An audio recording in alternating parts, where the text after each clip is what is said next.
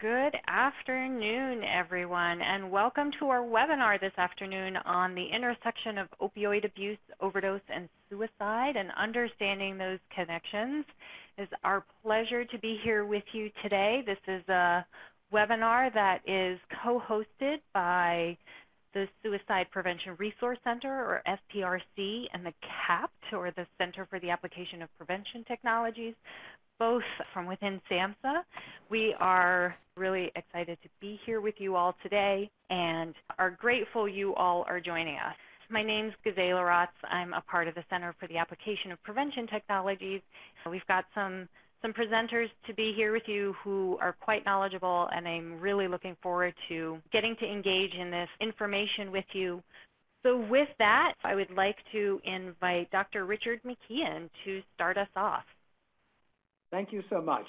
And I would like to welcome everybody to this important webinar on behalf of SAMHSA and specifically of, from both the uh, Center for Mental Health Services at SAMHSA, uh, who provides the funding for the Suicide Prevention Resource Center, and for the Center for Substance Abuse uh, Prevention, who provides the funding for the CAPT I think it's particularly important that we are working together on this critical issue that has so many implications for, uh, for Americans. So I said that this work is supported through both the SPRC and the CAPT, and for the presentations both from them as well as from those of us who are federal officials, what the views that are expressed don't necessarily express the policies of the Substance Abuse and Mental Health Services Administration or the U.S. Department of Health and Human Services. Okay, and so facilitators, in addition to myself today, um, is uh, Carol, Dr. Carol McHale, who is the Senior Social Science Analyst at the Center for Substance Abuse Prevention. And I am now going to turn it over to Carol. Thank you, Richard. Good afternoon, everyone. I have the pleasure of introducing our three presenters today, one of whom has been chatting since the beginning with you, Gisela Rots.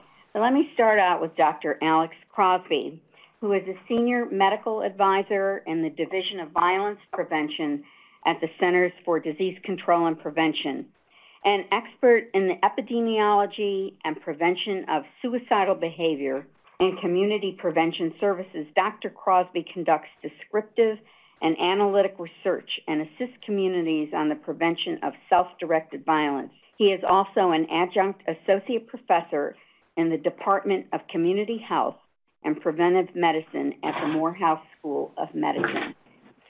Next, we have Dr. Kristen Quinlan, who is a senior research associate at Education Development Center which is the host organization for both the Suicide Prevention Resource Center and the Center for the Application of Prevention Technologies. Dr. Quinlan serves as epidemiologist for SAMHSA's Suicide Prevention Resource Center. In this role, she works across state suicide prevention systems to build their evaluation capacity and infrastructure for data collection and assist states in locating and analyzing existing data.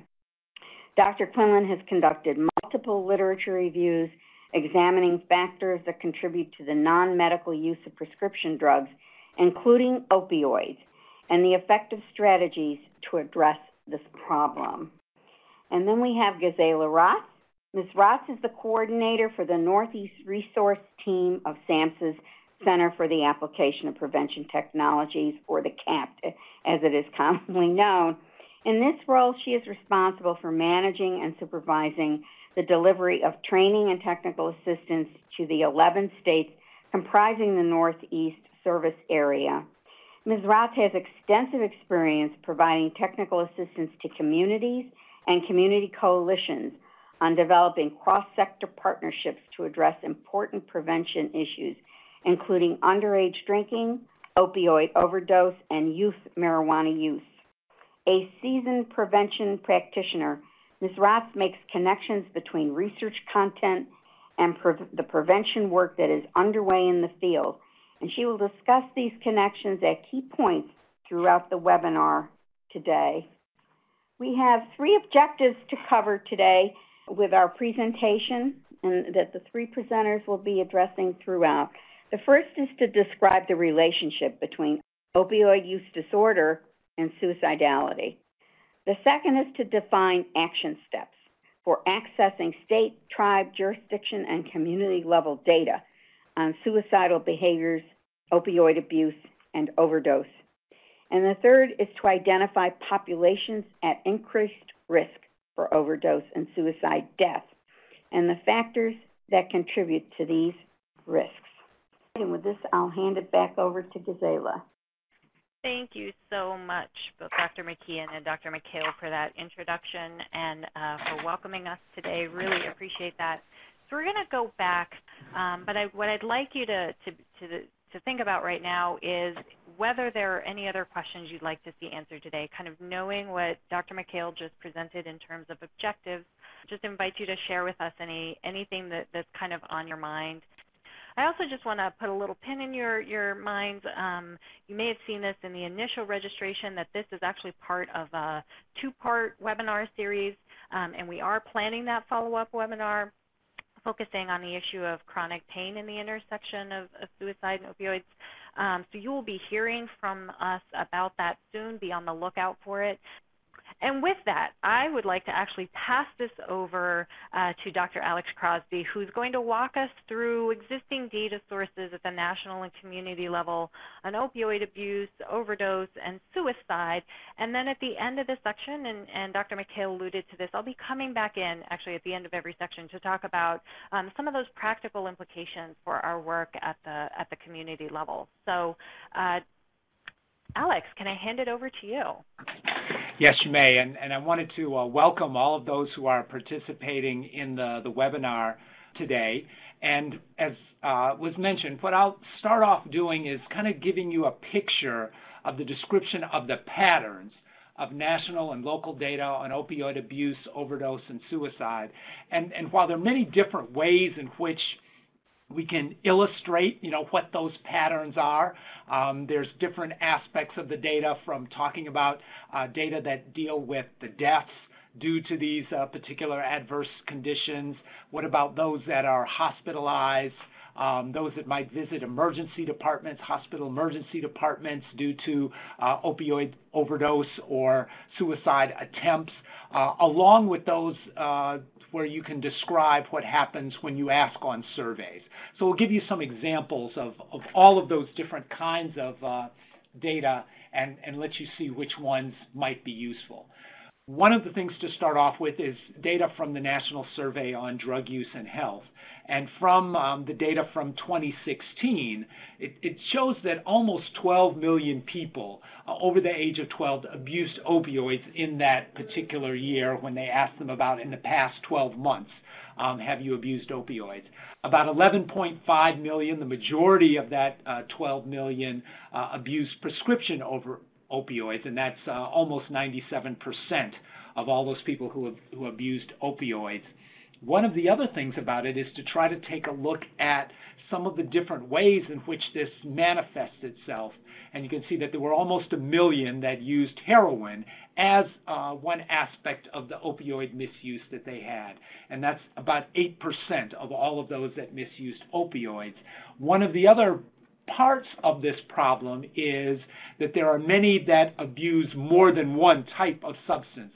And you can see here that over half a million, over 641,000 used opioids and abused prescription opioids. So you've got about 5.4% of folks um, also abusing those kind of drugs too. Another way of showing what this problem looks like is using a pyramid. And, and what the pyramid does is it gives us an opportunity to kind of look at opportunities for intervention and then also gives us an example of kind of what the magnitude of the problem is. Um, utilizing several different data sources, um, we can look at adults from 2016 and give a picture of what was going on in regards to suicidal behavior, suicide thoughts, as well as deaths due to suicide. Uh, during um, 2016, when we were asked in that uh, question from the National Survey on Drug Use and Health in the past 12 months, you know, how many of you have seriously considered suicide? You see that there was almost 10 million adults said that they had, had serious thoughts of suicide. That's about 4% of all adults in the United States. About 1.3 million mentioned that they had made a suicide attempt in the past 12 months. Generally, that's about one out of every 200 adults in the United States. And then there were about 45,000 deaths due to suicide in that the year of 2016. That's a suicide about every 12 minutes in the United States. That gives us an idea about what the magnitude of the problem is, but it also gives us an idea about where there may be opportunities for intervention given that there are about 9.8 million adults that seriously considered suicide, but yet only 1.3 million that engaged in suicidal behavior, there's a lot of opportunity to work with those 9 million, that 9.8 million, to try to prevent them from moving on to suicide attempts. And from that 1.3 million to the 45,000, um, that died as a result of suicide, trying to prevent those that engage in suicidal behavior in those non-fatal suicide attempts from moving on to the fatalities. It's important for us to prevent fatalities, but also important to look at those risk factors, those that have thought about suicide, those who have engaged in suicidal behavior, and try to prevent them from moving on to more serious or more lethal aspects. Another data system that I'll give you an example from is the National Violent Death Reporting System. This is data from 2015 um, that describes the patterns of suicide um, for the 27 states that reported all of the deaths of, due to suicide in their state. One of the things to see here is that about 50% of the suicides were uh, a firearm was the mechanism, We'd like for you to focus just for a minute on those 15%, so about one out of every seven in which poisoning was deemed to be the mechanism of death. Of those that died as a result of poisoning suicides, you can see that about a third of those opioids were considered the main cause of death. But also noted that there are other forms of um, chemicals that are also found and other substances that are also found in those, from antidepressants to benzodiazepines to antipsychotics, and that oftentimes with those that die as a result of poisoning overdoses as well as other um, leading mechanisms, that oftentimes there are multiple substances that may be involved in, in those forms of death. This bar chart gives you an example that suicidal behavior, that alcohol-related substance abuse, that drug-related substance abuse in terms of causes of death affect all populations. So whether you're talking about Native American non-Hispanics, white non-Hispanics, African American non-Hispanics, or Asian and Pacific Islanders, it affects all those populations. It manifests itself differently in these different populations, but it's important to note that it affects everybody. You know, whether you're talking about different age groups, whether you're talking about different communities, whether you're talking about urban or rural populations, that all communities are affected in some form or fashion. Um, you can see in different uh, populations that alcohol-related deaths might be the, the largest portion. In other populations, it might be overdose-related deaths in terms of prescription or drug-related overdose, and in other populations, it might be suicides, but it affects all of them.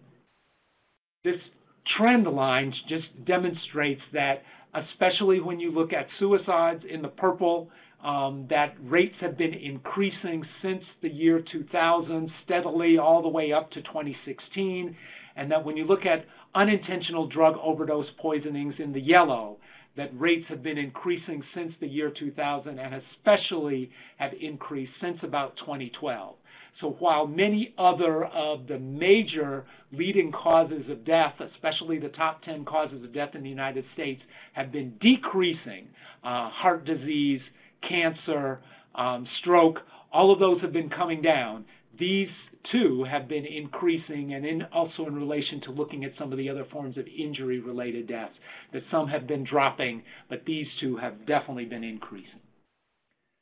There are different sources of data, and there will also be handouts that are available to you um, for you to, to download that you can access some of this data that might look at the national data, might look at the data for your state, or in some cases may also have locally available information. Uh, along the first row, web-based injury statistics query and reporting system, also called WISQARS, which is available on CDC's website, uh, that includes fatal as well as non-fatal data, that you can look at opioid abuse deaths, as well as suicides, and then also non-fatal uh, suicide attempts.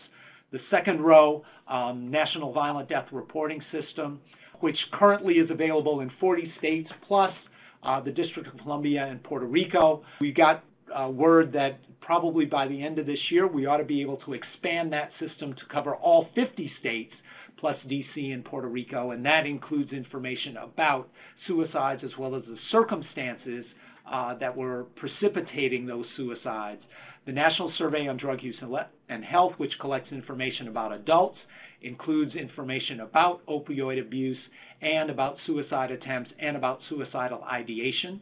The Youth Risk Behavior Survey, um, the next to last row there, that includes information about high school students that does ask questions about substance abuse, about suicide attempts, and also about um, suicidal thoughts. And then a new system that we're now developing and providing uh, information for is the BioSense platform, or Essence, which uh, provides real-time data on hospital emergency department visits uh, across a number of different entities, uh, including substance abuse, including suicide and suicide attempts. At this point, um, I'll turn back over to Gisela, and we will talk a little bit more about some of the implications and give some examples. Thank you very much. Oh, Alex, thank you so much. That was an incredible amount of data. Um, I just want to step, take a step back for a moment because I think one of the things that you all will notice is that today we are um, we're going to be focusing a lot on data. So we just kind of presented some national data. Um, Alex showed you kind of this, this other handout we have that identifies different kinds of data sources and how you can break them down. But kind of, again, to, to take a step back and, and, and talk about kind of this data, this data collection piece, uh, collaboration and partnership building, these are two pieces we're really going to focus on heavily today. Um, and, and just to explain why, and I'm sure many of you as community level uh, prevention practitioners know and understand the importance of this, right? But we have to make sure that we're collecting data that is relevant and that helps us to identify what the priority problems in, in each of our communities are, and then to think about the specific community context in which we're operating um, so that if it's relevant, we can then identify the appropriate kinds of evidence-based programs um, that we could be implementing um, if we need to address, for example, suicide and, and opioids specifically. We understand these are, you know, both suicide and opioids are certainly big concerns for so many communities in our country, but not for each and every community. So just want to, you know, to not be too fatalistic about that. Sorry, that's probably not the right word, but just to kind of put that caution out there, it's important for us to go back and really look at our community level data um, so that we really know what we're, what we're working with.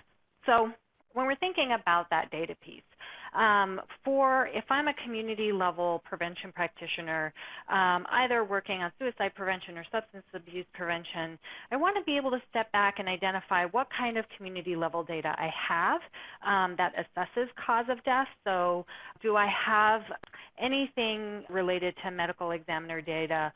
What might my youth health survey tell me about both kind of uh, suicidal thoughts and ideation, um, any substance misuse and those kinds of things. So I want to make sure that I know what kind of community level data I have. Then I want to be able to look for both kind of the method of suicide and the presence of opioids. Um, and that can look a little bit different. That might, again, that might involve some information from medical examiners or coroners um, and, and toxicologists, right?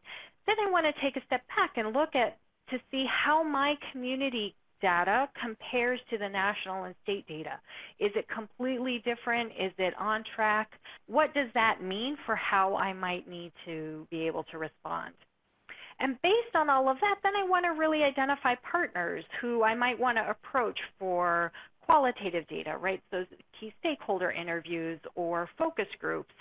And that will hopefully then lead me to a place where I might understand better which populations are most at risk in my particular community.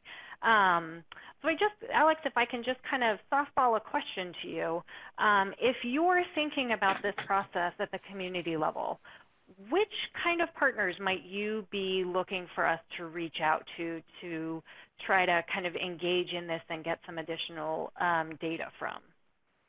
I, I, think there are a number of different partners that would be interested and willing to participate in terms of the, the efforts to try to address uh, both of these two problems. And, you know, there might be one way of trying to think about kind of two big categories of, of, partners. One might be those partners that might have data and, and data providers, you know, from, as you mentioned, you know, maybe medical examiners or coroners that would have information about um, death data. There might be some ability to uh, collaborate with those that work in the areas of social services, you know, whether it's the Department of Family and Children's Services and depending on, you know, different states may have different names but understanding that those uh, kind of organizations may have information about those that may have had trouble with, with some of the different areas. Uh, substance abuse, you know, whether it's uh, clinics or hospitals or other kinds of organizations that might have that kind of information. Uh, law enforcement uh, may also have information in terms of providing data, and oftentimes in working with those organizations, you'll find that you know some organizations have some bits of uh, the puzzle and other organizations have other parts of the puzzle and by putting those together, a better coordinated effort to identify, you know, where are the vulnerable populations, where are the at-risk um, communities might be uh, better able to, uh, to work together.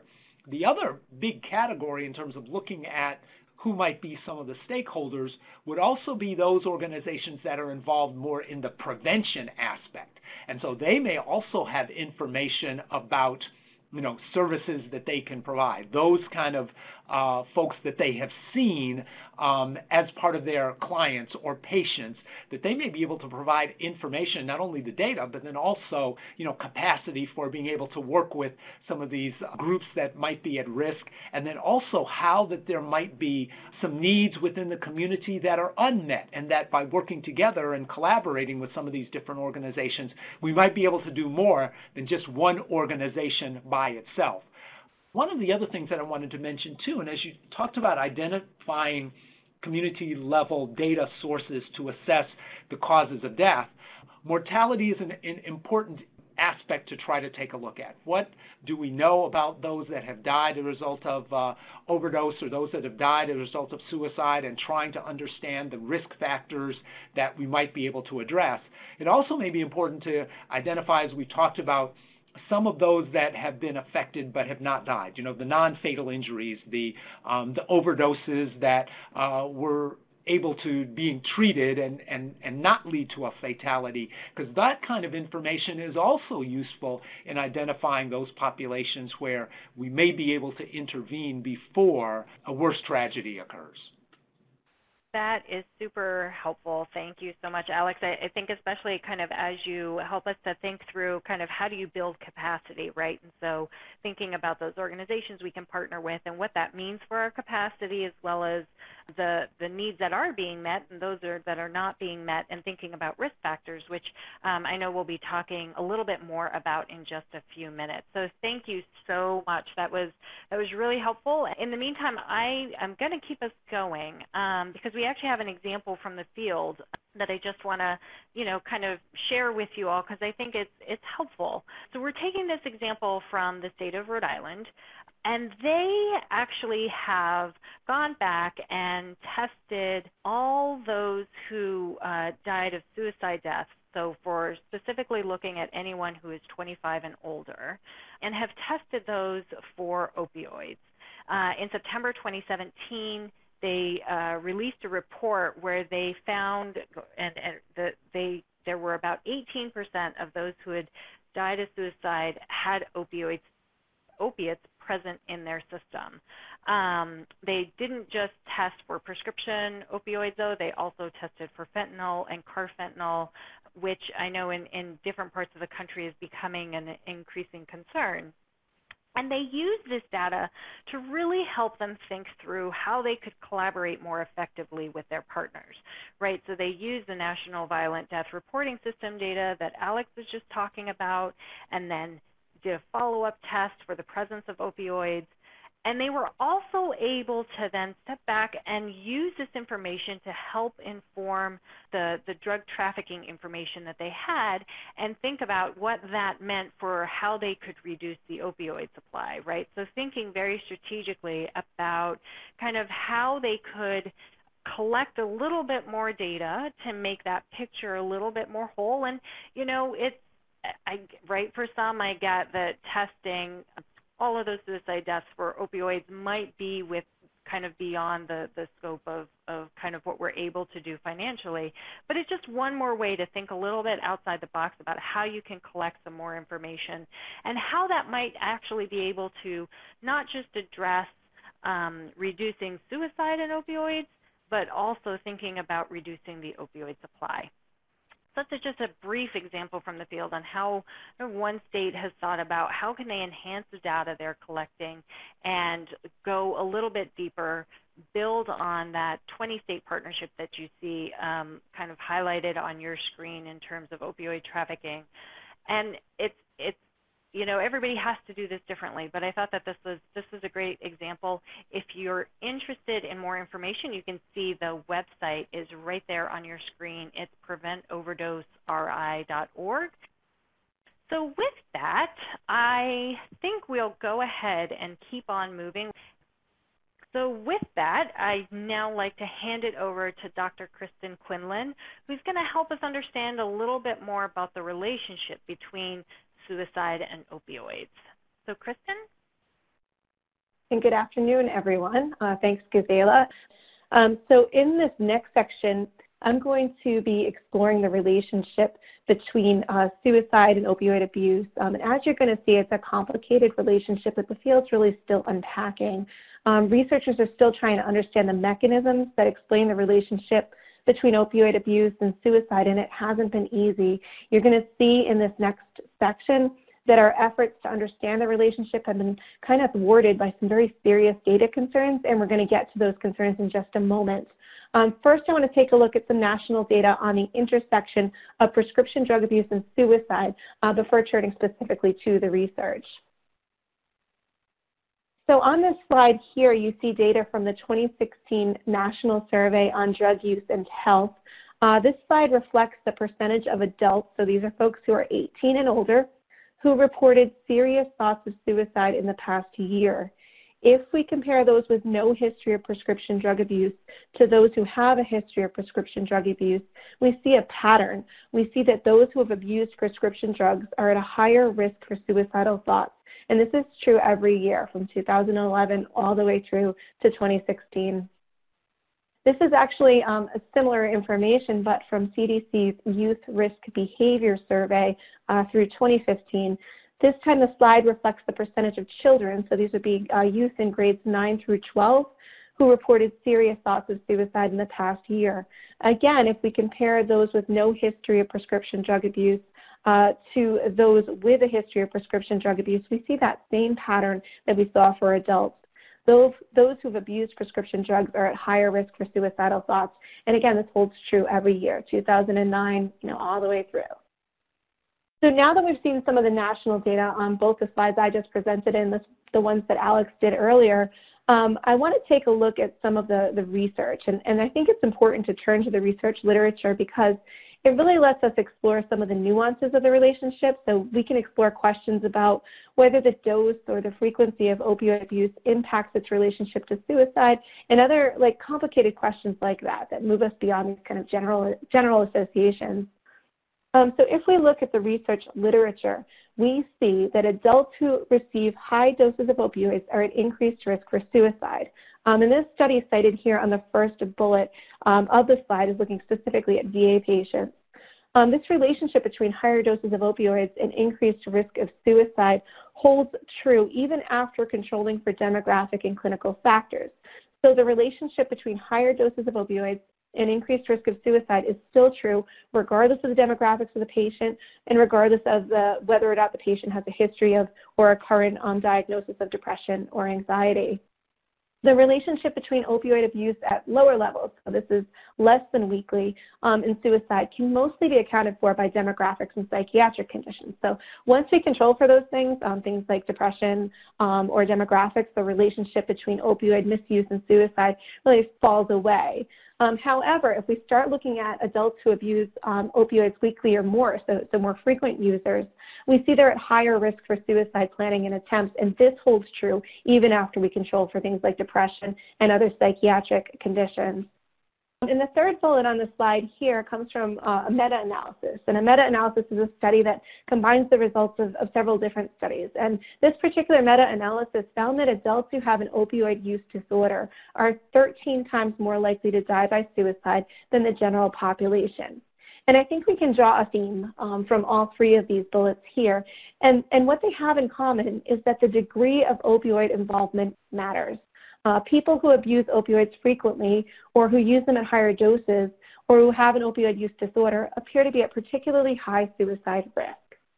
So this is where I want to kind of get into the mechanisms um, through which opioid abuse and suicide are related. Um, there's, there could be a lot of explanations for the relationship between opioid abuse and suicide. So maybe higher doses of opioids offer increased access to lethal means. They're available in folks' medicine cabinets, and, and that explains the link. Um, maybe opioids have some kind of disinhibiting effect. So, you know, they increase the likelihood that a person can or will act on their suicidal impulses. Or maybe people who take higher opioid doses share characteristics that explain the link with suicide kind of in other ways. So for example, um, research tells us that people with a history of depression are actually more likely to receive prescription opiates for pain, and they're more likely to receive them in higher doses and with a greater day supply. Um, so it, it, then when you compare them with people to people without a depression diagnosis. So maybe this is you know where the where the explanation is. Um, and any of those those hypotheses are actually, you know, a possibility, um, or, or even a combination of, the, of these hypotheses are really entirely possible. I think the take-home point here is really that the relationship between opioid abuse and suicide is complicated, and the explanatory mechanisms um, for, for understanding that relationship are, are not really well understood. So understanding the relationship between opioid abuse and, and, suicide is made even more complex by some inconsistencies and limitations in our data. Uh, when classifying a death as a suicide, a coroner or a medical examiner has to determine two things. They have to determine if the person knew that the dose was likely to be lethal. Did they have enough experience with or knowledge of the substance to really understand its effects? And what was the person's intent?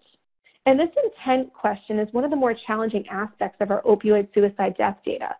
Was this an intentional suicide by opioid poisoning, or was this an unintentional opioid overdose? And the, the, issue is that intent is really left up to coroners and medical examiners who might have their own biases or opinions about what constitutes level of intent. Um, so coroners and medical examiners are, are, left to determine where on this intentionality continuum a death might fall. Um, and this is complicated because sometimes even the decedent might not truly understand his or her own intent. And so it's, it's very challenging for you know, coroners or medical examiners uh, who find themselves in that situation.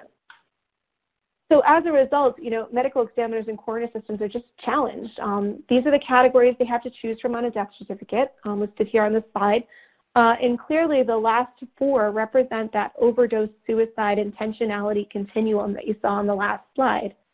We have cases of clear suicide and cases of clear accident, but sometimes intent isn't known and we need to make sure that medical examiners and coroner systems are being systematic in their selection of manner and death and not inadvertently biased about selecting some cases as a suicide, some as an accident, and some as undetermined. On this slide, we have a summary of some of the common challenges that medical examiners and coroners are, are facing when they're trying to classify a, a poisoning death. Um, first, they're met with some scarce resources and inadequate training opportunities. Coroners in some states are elected officials. Um, they might not have any medical training. Um, and some states don't have any policies regarding requirements for any kind of ongoing training. So when something pops up like the opioid crisis, coroners and medical examiners are sort of left scrambling. Um, you know, they may or may not have the, the resources or the training uh, to, to really adequately, you know, address it and understand all the nuances associated with it. There's the issue of punitive policies. Um, so some insurance policies might have punitive policies, um, meaning that if a decedent, you know, took out a, um, a uh, uh, insurance uh, policy just before their, their death, for example, um, if it was a suicide, it might not be paid out. Coroners and medical examiners know this, um, and this might come into their manner of death selection. Uh, we also have a, a bias that's produced by knowledge of existing trends the opioid crisis is really everywhere. So it's on the news, it's in our everyday conversations, and, and medical examiners and coroners are operating in this context. So they might hear the word opioid death, and, and they may not necessarily be thinking about suicide. Uh, there's also the issue of stigma and cultural opinions. Uh, coroners and medical examiners might face some political pressures uh, not to classify a death as a suicide because of stigma. They might have some ideas about what they think a suicide looks like. Um, it might not look so closely at classifying a death as a suicide if it doesn't contain very specific characteristics like a note or if they're using a more um, passive method of death over a more active manner of death. So a gunshot wound or a hanging being more likely to be classified as a suicide than an opioid overdose. We also have those complexities around determining intent, which I um, sort of covered already. And I think the issue of intent, um, along with the issues that are identified on the last slide, uh, mean that the undercounting of suicide is a potential problem um, when, we, when we start thinking about overdose deaths. And I think the bigger problem is that the undercounting might not be random. Um, if it were random, we would expect that all populations were affected equally by the non-random undercounting. And while this would be a problem because it would lead us to think that, you know, suicide was maybe not happening as often as it truly was, um, it's not, you know, sort of disproportionately selecting some groups over others. The non-random undercounting of suicide means that means just that, that the, that the suicide undercounting is non-random. So for those who are interested in this issue, I think um, if you read Ian Rockett's work, um, he's very specifically focused on this issue. He's uh, from West Virginia University. And he's found that um, specific groups might be more affected than other groups by the undercounting of suicide. The characteristics you see listed here on the slide, um, minority race, ethnicity, younger age, lower levels of education, lack of history of psychiatric comorbidity, um, and a lack of a suicide note indicate those people who are more likely to be placed in that category of injury of undetermined intent um, and therefore at risk for a possible misclassification of suicide. So there's some suspicion that the, that the, non that the undercounting of suicide is in fact non-random. Um, not included on this slide is, is, some more research that indicates that more active modes of injury, like gunshots or hanging, are more likely to be classified as suicides than less active modes of injury, like poisoning through overdose. And I think the take-home point here is that there's a lot of gray area in classifying overdose deaths, and that gray area means that some groups might be at higher risk of misclassification than others. And that's really important when we're thinking about using this data for where we're directing our prevention resources, because the data may be leading us in you know, a different direction uh, than is actually happening on the ground. Um, I think importantly, we want to turn and, and think about, about tribes um, because when we think about tribes, we have all of the same concerns we just covered in the prior slides, but we also have a few more. For some tribal communities, there are concerns about the power of words and language. The term suicide might be outside of their cultural and religious lexicon. Um, so the cultural concept of suicide might not really exist for some tribes, which makes it awfully difficult to count because tribes have historically been disenfranchised, um, they may be really protective about their community um, and worried about what their data might be used for um, if they were to share it more broadly.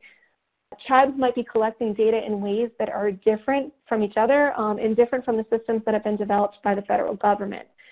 So this means that in some cases, uh, you know, data may not be available for, you know, certain, certain tribes or certain groups. Um, and again, I just want to underscore this point that the undercounting of suicide really matters. It matters for tribes, it matters for other populations. We use this data for planning um, and for making the case for prevention dollars. Um, and we also use it for evaluating our um, prevention efforts. And inaccurate data could seriously impact our prevention work. Um, so what I want to do next is turn to Gisela to talk about um, examples and implications. Awesome. Thank you, Kristen. That was an awful lot of information I actually, um, I would love to, before we talk a little bit more about this example from Kentucky, I want to take a step back um, and actually pose a question to Dr. Richard McKeon, who, who you all heard earlier during the webinar. Um, and Dr. McKeon, so Kristen talked about the challenges related to undercounting. And I'm wondering whether, since you have a, a very national perspective on this, you could say a little bit about why that is problematic from a national perspective, and if you could maybe give an example of how you've seen that being addressed either through the form of a collaboration or in some other form. Well, I think the undercounting is problematic and for a number of different reasons, one of which is that it minimizes the attention being given to the steadily increasing rates of suicide in the United States. And the undercounting means that it's worse than it appears um, even in the national statistics, you know, which are of concern, concerning enough. And, you know, the example was given about how that, you know, one thing that's utilized is the presence of a suicide note. When there's a suicide note there, then we know that it's a suicide. But there are, a couple, there are a couple of issues associated with that. One is, and I think Alex would know this better than I, but I think I think it's no more than one in three suicide deaths actually have a suicide note. So the idea that a suicide is invariably uh, associated with a suicide note is inaccurate and, how to determine that, of course, it is, it is challenging. And I think we see the same challenge when we look at non-fatal overdoses. And you think about all the people who present to emergency rooms either after a suicide attempt or a non-intentional overdose. And the reality is until somebody sits down and talks to the person, they're not going to be able to make a determination about whether it was a suicide attempt or it was an accidental overdose. And, and that's important. And there may be some instances where even the person themselves may not be clear about what their intentions were. You know, so, uh, you know, because of, of, of, of this, and this fits in with why we're doing these webinars on this topic, it's really important for us to be aware of the importance of collaborating and working together.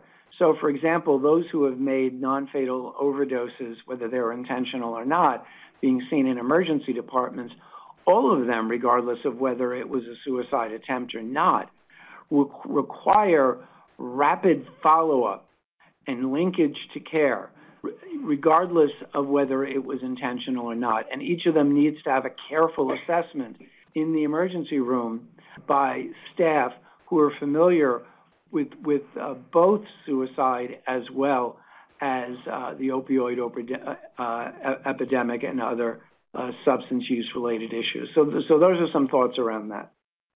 That's super helpful. Thank you for that. Kristen, I actually want to throw another question at you. Um, we've gotten a couple of questions around the, the de definition of opioid abuse. Can you say a little bit about that? Is it related to DSM-5 or is there another definition that, that you were looking at here? So when we're talking about opioid abuse, it depends on the survey um, in which we're referencing. So different surveys um, refer to it in different ways. Um, for some folks, it, is, it involves um, the use of um, prescription drugs that were, you know, not prescribed to you, um, or the use of uh, prescription drugs uh, in a manner that, that that is, you know, not as what was indicated by the doctor, or you know, the use of someone else's uh, prescription, or the use of prescription um, in amount that's different than what was prescribed. So there's a whole host of different ways um, in which it can be defined, and sometimes it's defined, you know, with with all of those. Also within the surveys, you know, they some surveys ask about, you know, lifetime. Have you ever done this in, you know, in the course of your life? Others will look at, you know, past year. Um, you know, have you have you abused prescription drugs in the past year? So the definition really depends on the source, um, and so you know, depending on on that, that would be you know how you define it. Great. That's helpful. And then to, to kind of circle around to kind of the other the other side of the question, which is you reference the question of a high dose of opioids being at an increased risk for suicide. Can can you define high dose a bit? Yeah, so I, I cannot um, at this time, but um, actually I can refer back. I can refer back to the to the research. Um, there's a citation on that slide, um, and I can pull that for you. Um, so I don't know what that particular um, research study cited as a high dose, but often, you know, in this research, in this type of research, they um, refer to high dose, also, you know, higher number of prescribed days, so the longer sort of length of prescription. There's a whole host of different variables that they use to define sort of access to opioids in general. Great. Perfect. Thank you. So we will loop back around on that one. Alex, I'm wondering if I can also pitch one more question to you before I start with my so what implications. We got a question around mandated screening. So is there a suicide risk screening that is mandated for providers who prescribe opioids? Would you happen to know the answer to that question off the top of your head? Uh, this is Alex. I, I, don't think there are standardized protocols for that or mandates for that across the board. You know, so for all providers um, that would provide opioids, I don't think there is a mandate for that. One of the things to mention in that regard is um, there was a, a recent uh, review by the uh, Guide for Clinical Preventive Services, and one of the things they found is that there wasn't solid enough evidence for some of the screening tools that were available at the time. This was, you know, a, a, couple of years ago, and I know they're going to try to uh, review that.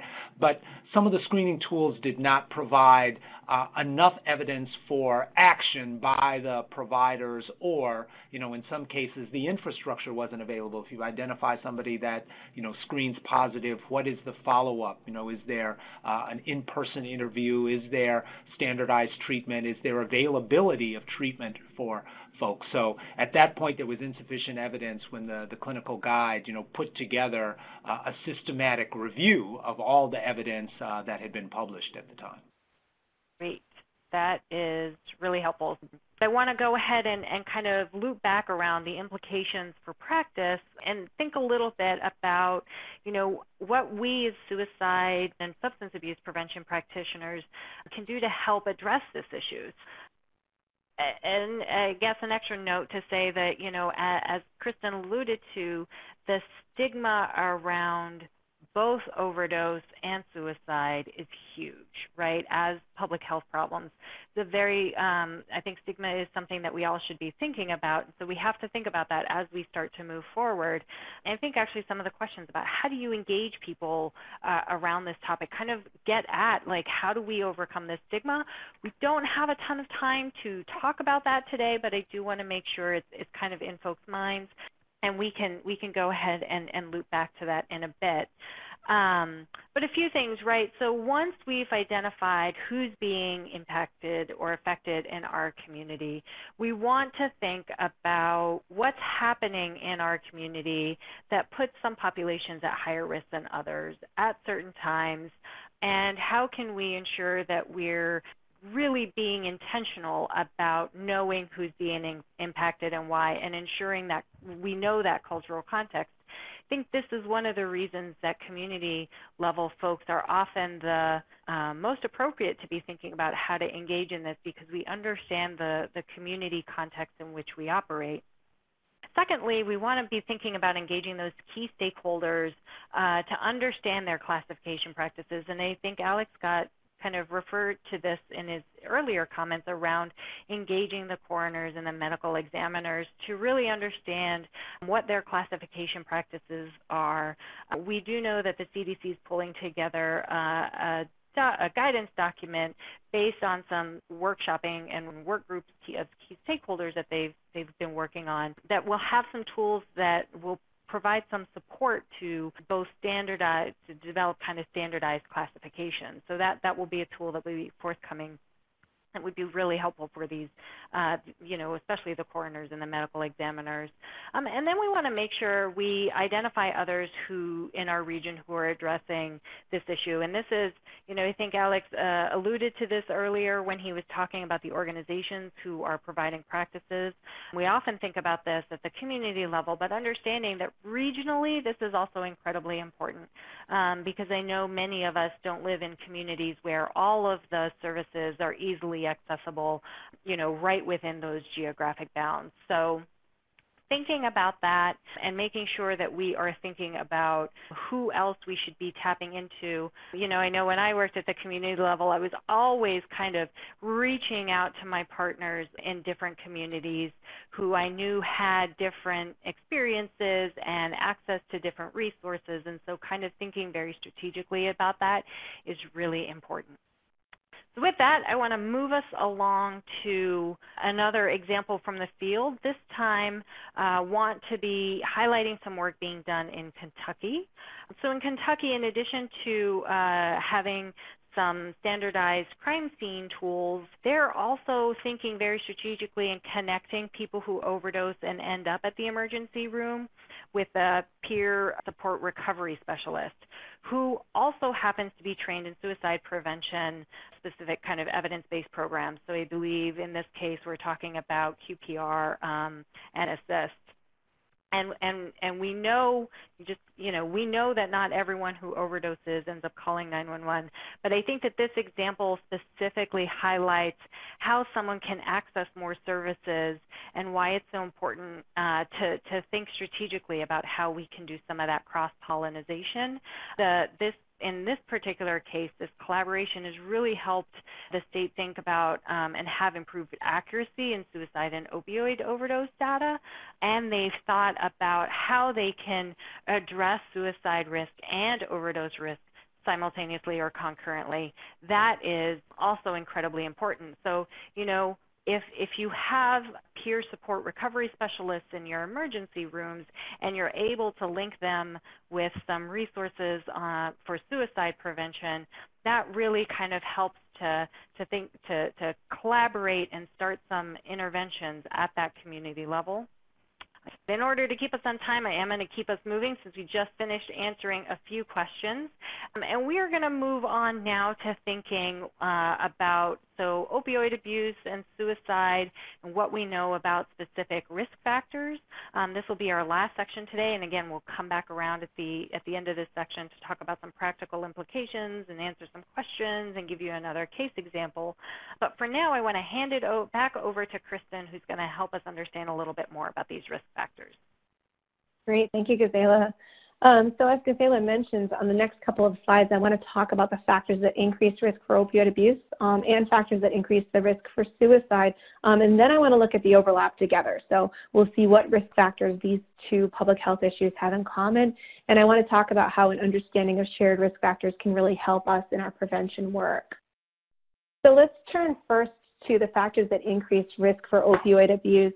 Um, and I want to flag first, physical health problems and pain. Um, I saw that come up a couple of times as a question in the chat on the relationship of, of opioid abuse um, to pain. And we're going to be covering that relationship between pain and opioids in a greater detail um, in, our, in our next webinar. Uh, but for now, I just want to flag the fact that pain patients, uh, particularly those with a greater supply of pain medication, uh, could be at higher risk for opioid abuse and dependence. And the relationship can really be magnified if there's a history of trauma, or a prior history of substance abuse. So pain patients with a trauma history or with a sub substance abuse history are at even higher risk of opioid abuse. Um, I also want to flag behavioral health problems here on the slide. Uh, depression and anxiety are very well studied um, risk factors for opioid abuse. Um, they've been studied as a risk factor for both adults um, and uh, youth as well. And interestingly, we can actually tie the risk factor of depression and anxiety and behavioral health problems back to that issue of chronic pain um, because chronic pain patients are at higher risk for depression um, and they're also at higher risk for opioid abuse. So the risk factors that we see here on the slide are not isolated risk factors. They're actually linked together um, with one another. I also want to flag trauma as a risk factor. Uh, trauma, um, which some researchers have defined as, as childhood abuse and neglect, um, has also been directly associated with an increased risk of prescription opioid misuse in early adulthood. Some researchers suggest that this connection can be mediated by the experience of pain. So um, pain plays a really important role in, in understanding that connection between child abuse and neglect and opioid misuse. Again, just flagging that factor that, you know, these are not isolated risk factors. They are, they are interconnected. I also want to look at social isolation. Rural environments, which some researchers have used as a proxy for social isolation, have been associated with prescription um, opioid misuse, um, particularly for white adolescents. Uh, if we look specifically at measures of social isolation and drug use, we see that for adolescents, the risk of drug use increases with loneliness.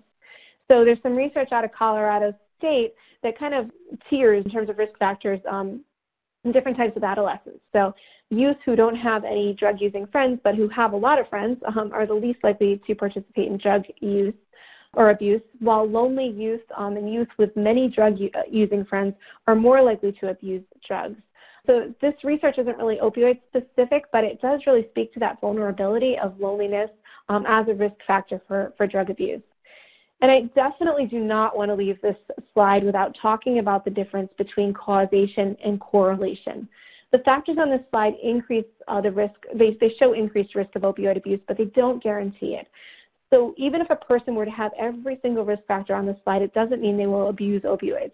Uh, opioid abuse is not necessarily caused by any one of these risk factors, um, and these risk factors have very complicated relationships, um, even with one another.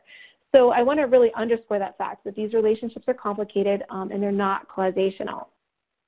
On this next slide, I want to talk about the risk factors for suicide. Um, if you're looking for a really nice summary of some of the risk factors associated with suicide, you might want to turn to the National Strategy for Suicide Prevention. And the link to the National Strategy can be found in handout number two, um, which you see here on the slide, um, and also in the bottom left-hand corner of our um, of our presenting uh, chat pod here. And I've highlighted a few of the risk factors that, you know, that can be found in uh, the national strategy here on the slide as well. I want to flag first physical health problems and pain. Uh, cancers, uh, degenerative diseases like Parkinson's or uh, multiple sclerosis, traumatic injury, um, and chronic pain conditions like headache and back pain are all associated with suicide risk. I want to highlight social isolation as another well-established risk factor for suicide, particularly for adolescents. If we look at some work out of the University of Minnesota, we see uh, some, uh, some clear associations between social isolation and suicide attempts.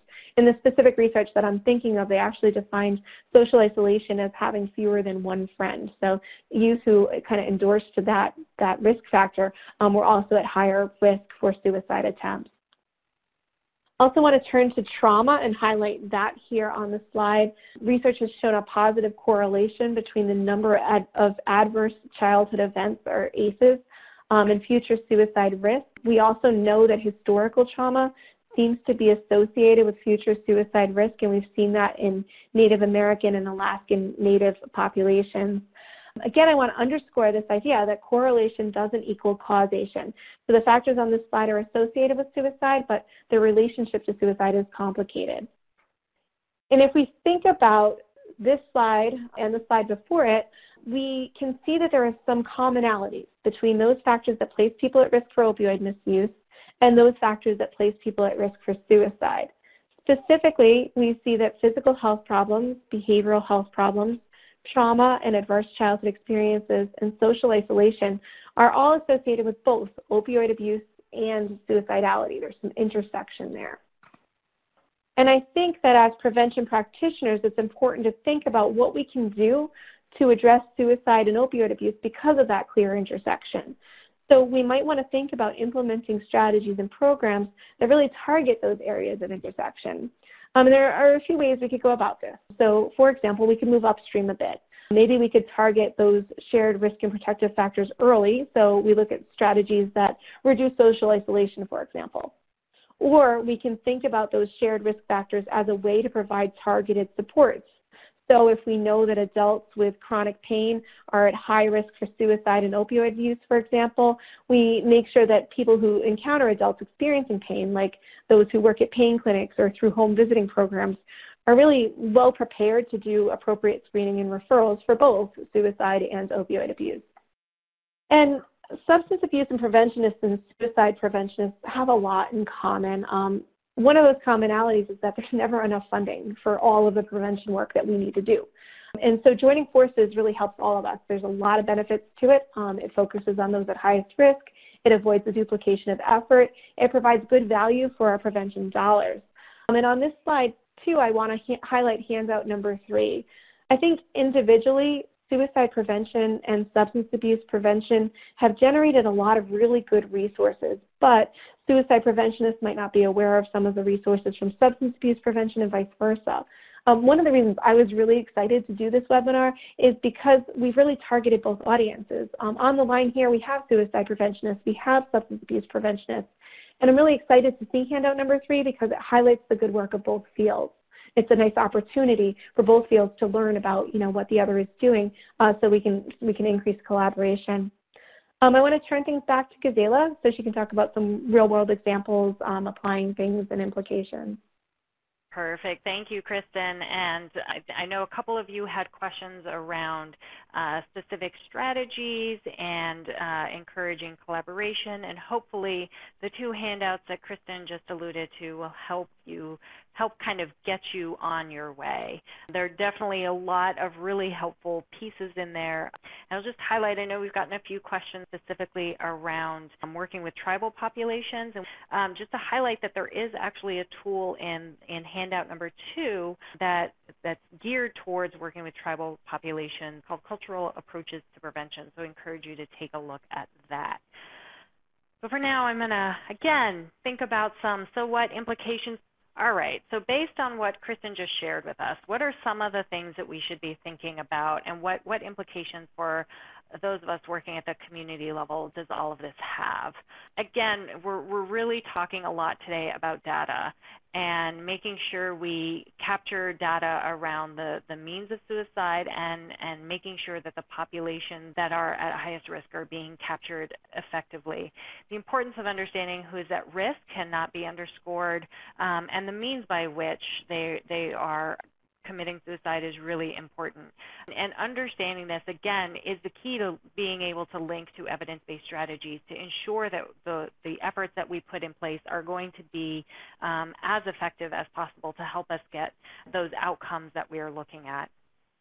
Then again, focusing on, on engaging those new partners who can both identify and implement innovative strategies to address uh, both, both overdose and uh, suicide are really important, right? Um, thinking about perhaps are there pain management centers in your community or other sectors who can help with something like a prescription drug uh, disposal strategy? Is that possible? I think that, you know, those are the kinds of things that, that we can be talking about. And again, we'll, we'll talk a little bit more about chronic pain specifically um, on the next webinar, but um, you can be thinking about some of these other folks uh, and partners in your community beyond uh, medical examiners and coroners who can, who can help out.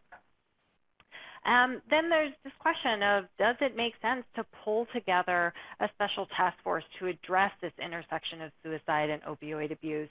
You know, the idea of building new partnerships and, and help to address stigma, this is a perfect place where you can also engage, you know, folks who are either in recovery from opioid use disorder or who may be using illicit drugs actively. I know we've, we've presented some data around uh, prescription opioids specifically and, and how that's related to risk, but of course there is this piece around, you know, folks who are using illicit opioids also being at risk. Um, and while we may not have called that out specifically, that is certainly um, a, a part of this conversation. The data is a little harder to get sometimes, but again, if you are able to do those post, those post suicide autopsies, you can find out what kind of um, opioids may be present in the system. And, a, and again, the, the, special task force in this particular case um, can help you bring together the, the various folks who will know the most about these populations. And then finally, the, this issue of stigma, and I've brought this up before today, but understanding yourself the, the stigma that's facing the populations abusing and, and misusing opioids and those who are at a higher risk for um, suicide is really important.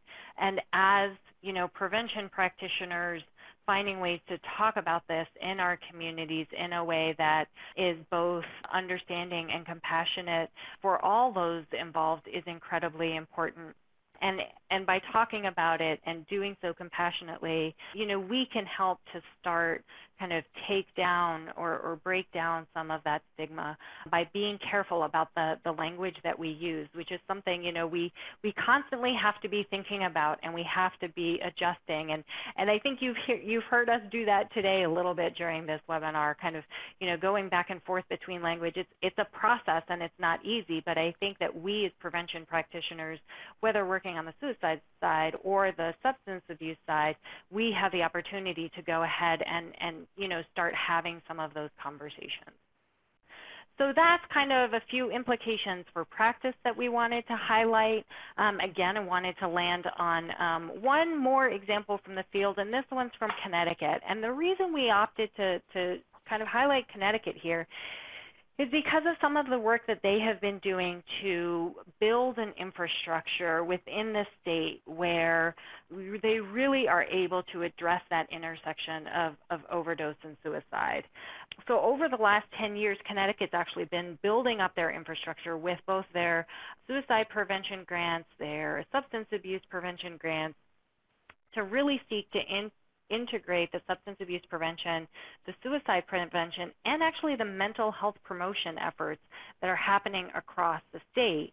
They've kind of gone beyond just going statewide and then gone down to regional levels and looked at uh, integrating the regional boards of health and the substance abuse prevention councils making sure those are integrated and working together so that there aren't separate entities uh, doing this work kind of across the board and really looking at making sure that they're all kind of, you know, singing the same tune, if you will.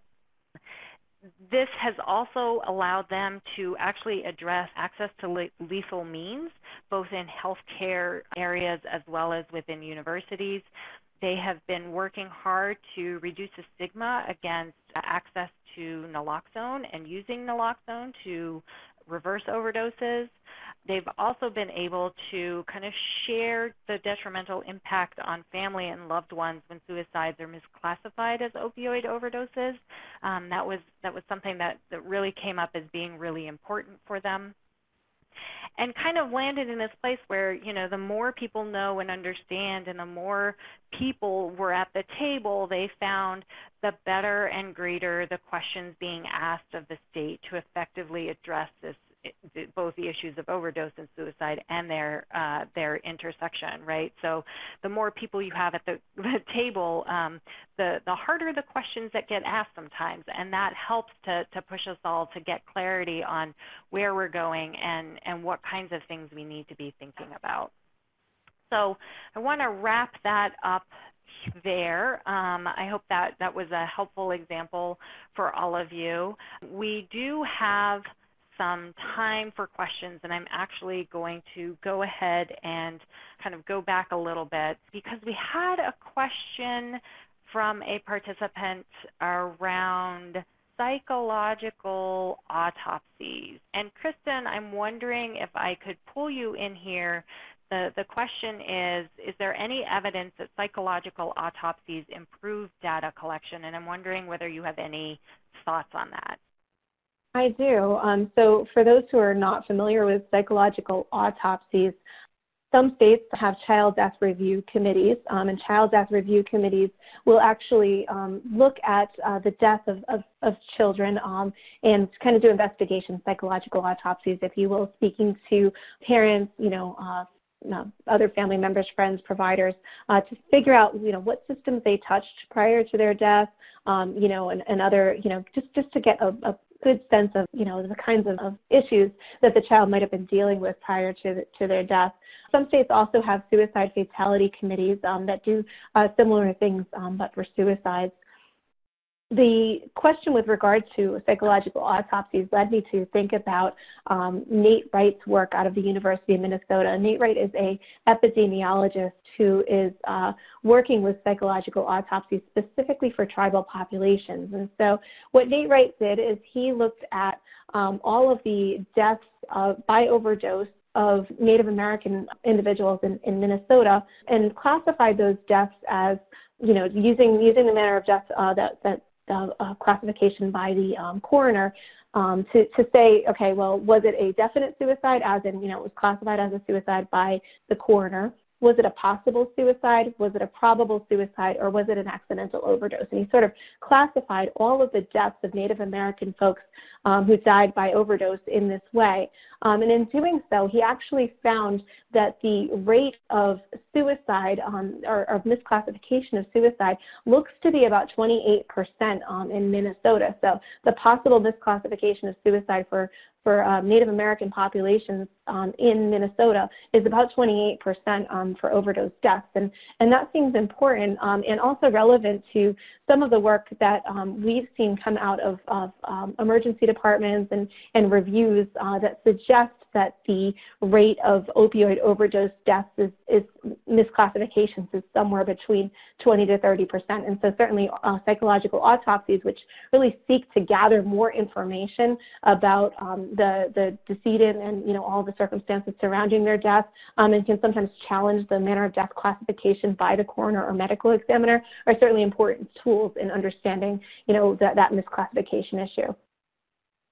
That is super helpful. Thank you for having that at your fingertips, Kristen. There's also a question, and Kristen, Alex, I'm not sure which one of you might be the best to answer this question, but we've gotten a couple of questions around HIPAA and whether HIPAA is a barrier to building a more clear picture of the intersection of opioid abuse and suicide. Alex, I'm wondering if that might be up your alley.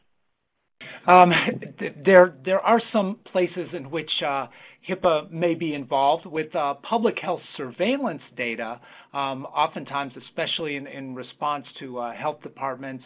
Um, there are some I guess I would call it exceptions that health departments can collect information about that for the use in developing prevention or intervention activities. So there are some places in which, you know, certain organizations, especially state or local health departments, can collect information uh, about individuals when they need that information uh, to develop programs. There may be some restrictions on HIPAA, especially individuals trying to get other individuals kind of information, but um, there are some ways in which you can uh, work with that. There are also opportunities, you know, whether that's, you know, working with hospitals or, or working with, uh, you know, inpatient or emergency department data in which the, the hospitals may be able to share aggregate data, you know, in which they take off personal identifiers, but put together, you know, some of the information that may be related to risk factors or, you know, mechanisms that were used or even, you know, in some cases, substances that were used, but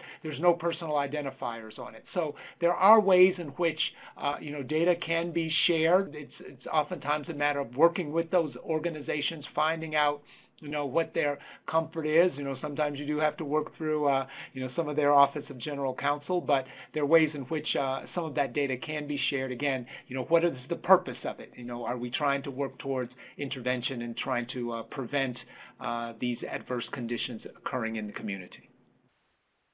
Great, thanks Thanks so much for that, Alex. That's super helpful. And Kristen, I think I'm going to lodge the, the probably the final question that we can take today to you, which is kind of a follow-up question, really. Um, you know, I imagine in a lot of our communities or even kind of smaller uh, regions, counties, we might be looking at relatively small numbers of overdose and suicide, and especially then when we try to get down to identifying specific populations that this is impacting, we can get some really small numbers. And there are some best practices and guidance around not reporting, I, I guess I would call it surveillance data, um, on, on too small a numbers. Could you say a word or two about some of the, the ways that, you know, as an epidemiologist, you kind of, some best practices you might kind of lay out for folks to be thinking about? Yeah, absolutely. That's a, that's a great question. So um, if I think about, I guess as you're speaking, I was thinking about small numbers in, in Montana, for example. In Montana, their um, state suicide prevention uh, person at the state level um, has actually trained himself to be a coroner and he reviews all of the death certificates um, that you know that were suicides and kind of does his own um, sort of psychological autopsy and, and they can do that um, because you know the n's are small but but those small n's mean, you know, there's identifiers, there's accidental identifiers. So the release of information can actually lead you to be able to inadvertently identify a person. And this is a, you know, a problem in small communities, those very rural communities. It's a problem for, for tribal populations. Um, one of the reasons why they don't want their, you know, in some cases, tribal communities are, are a little concerned about, you know, having their data shared um, because those small n's lead to accidental identifiers. And so there's some nice you know, I think best practices when it comes to dealing with small n's I'm calling them small n's, I'm sorry, small numbers of folks. And I think, first of all, you, you need to consider the use of data that includes small n's. So it's very hard to interpret trend data um, and things like that if your n is is in fact too small. So you want to think about whether or not your N is even appropriate uh, for analysis. You also want to um, think about the way in which you break down your data. So when you're breaking down your data, you know, if breaking it down by race ethnicity, for example, leads you to a, too small n, think about working it back up and, and not breaking it down according to certain characteristics that might lead to unintentional identifiers when you're doing your data agreements uh, with different groups, when you're working with your partners, you want to think about kind of setting those uh, specifications up front so you and your and your partners have a sense of, you know, at which point you're going to suppress the data so you're not going to kind of report it out um, so that way those inadvertent identifiers are, are not available. And so those are some of the best practices with regard to, to small n's. Um, I also think that, you know, when we talk about what small n's can be used for. Um, they are useful when we're thinking about psychological autopsies, when we're thinking about systems that, that folks have touched, when we're thinking about quality improvement. Um, so really dealing with, you know, when you've got a small n, it's important to, to dig. Um, if you have access to individually, you know, um, identifiable data, not for sharing purposes, but for understanding where in the system, you know, folks are touching possible places for intervention. That's a lot to think about, um, but thank you. And I think that that also kind of highlights for us, again, making sure that we are addressing the appropriate public health pro, uh, problems in, in our own communities. So thank you so much for that. And looking at the time, I see that we really need to wrap up. So I'm going to zip through our summary um, and encourage folks to ask any other follow-up questions. If we didn't get to your question, we promise we've, we have it logged and we will do some follow-up. But just to summarize kind of where we've been today, suicide, suicide and opioid opioid abuse and overdose rates have grown over the past decade. Uh, the relationship between these health problems is complex and much is still unknown because that data is limited, which, which Kristen just kind of reemphasized for us. Collaboration is key, um, and including efforts to address shared risk factors is incredibly important. And we want to just make sure that uh, we're, we're thinking appropriately about collaborating with the appropriate entities and making sure that we are really thinking strategically about that. So with that, I really appreciate everyone hanging in there with us today. We know there is a lot of material, um, but I would like to hand it back over to uh, Dr. Richard McKeon at this Thank you. So again, I just want to underscore that there are resources that are available to you currently from the CAPT, and you can see them in, in front of you on addressing opioid overdose and working to reduce the flow of prescribed opiates and preventing prescription drug misuse. All of those can be quite valuable, as well as from the SPRC, including those that uh, assist in terms of suicide prevention in American Indian Alaska Native settings. And one that you see pictured in front of you, we mentioned the importance of emergency departments. This is on caring for adult patients uh, with suicide risk.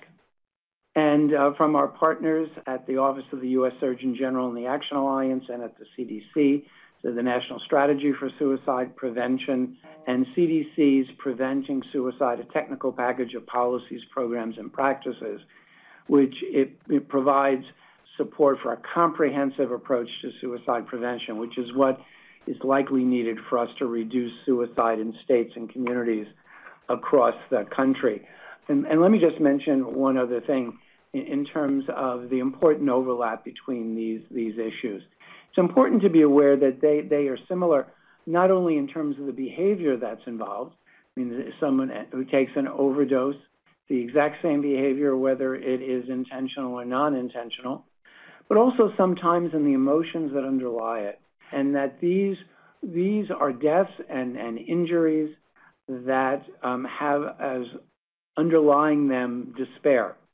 Um, um, and the Nobel Prize winning Princeton economist Case and Deaton have written about what they can call the deaths of despair and their increase in the U.S. Opioid overdoses, suicides, uh, alcohol-involved liver disease.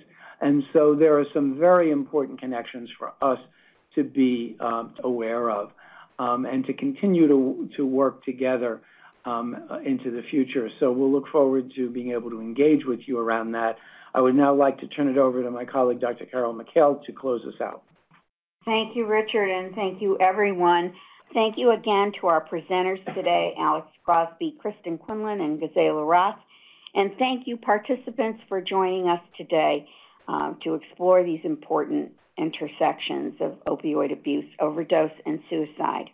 This concludes our SAMHSA webinar event for today.